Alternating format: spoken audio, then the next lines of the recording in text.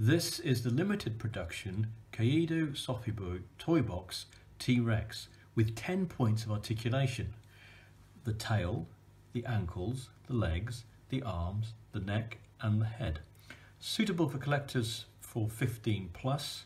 It's a very rare model, limited edition, and unusually, to demonstrate the engineering, they gave their model an articulated jaw, but this time it's the maxilla and premaxilla which are articulated. It's the upper jaw. Thank you.